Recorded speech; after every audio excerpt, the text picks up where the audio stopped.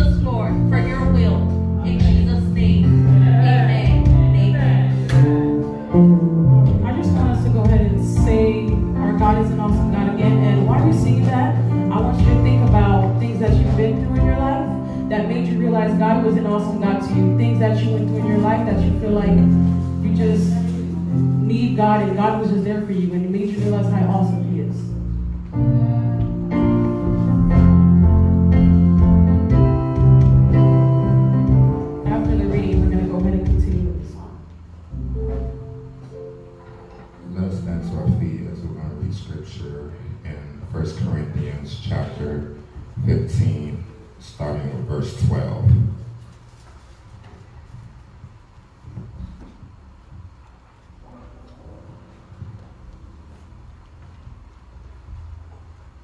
Now, if Christ is preached that he has been risen from the dead, how do some among you say that there is no resurrection of the dead? If there is no resurrection of the dead, then Christ is not risen. And if Christ is not risen, then our preaching is empty and your faith is also empty. Yes, and we are found false witnesses of God because we have testified of God that he raised up Christ, whom he did not raise up, if in fact the dead do not rise. For if the dead do not rise, then Christ is not risen. And if Christ is not risen, your faith is futile. You are still in your sins. Then also those who have fallen asleep in Christ have perished. If in this life only we have hope in Christ, we are of all men the most pitiable. But now Christ is risen from the dead and has become the first fruits of those who have fallen asleep. For since by man came death, also came the resurrection of the dead. For as in Adam all die, even in Christ all shall be made alive. But each one in his own order, Christ the first fruits, afterward those who are in Christ at his, com- his coming. Then comes the end, when he delivers the kingdom to God the Father, when he puts an end to all rule and all authority and power. For he must reign till he has put all enemies under his feet. The last enemy that will be destroyed is death, for he has put all things under his feet. But when he has all things are put under him, it is evident that he who put all things under him is accepted. Now, when all things are made subject to him, then the Son himself will also be subject to him who put all things under him, that God may be all in all. Otherwise, what will they do who are baptized for the dead, if the dead do not rise at all? Why then are they baptized for the dead? Verse 30.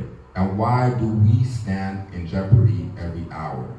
I affirm by the boasting in you which I have in Christ Jesus our Lord, I die daily.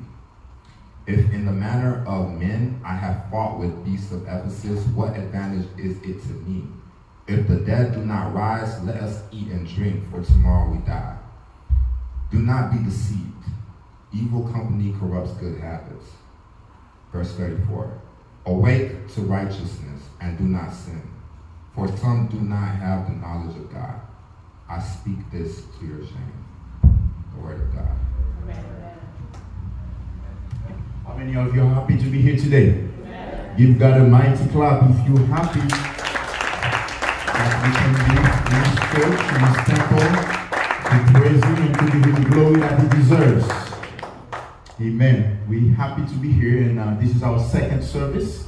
Uh, we started last Sunday, and uh, we had a great service. We thank God for that, and we thank all of you who uh, come back today for another service, and we will continue. This service will continue every Sunday. We will have church in English at uh, 1 p.m. Please invite your friends, invite your coworkers, invite uh, your family members to be here to hear the word, the word of the Lord that, that is going to be delivered in a few minutes. So we so happy. So we thank God for that, for that privilege. I thank God for my team that are working very, very hard. They have been here in, this, in the morning service and they stay for the afternoon service. That's that's very, hard, but they are ready to pay the price. As we heard it this morning in the in the message this morning, there's a price we need to pay for consecration. Guys, God will bless you for what you're doing. Uh, keep doing what we're doing, and we will see the fruit pretty soon. Can you give him a mighty clap?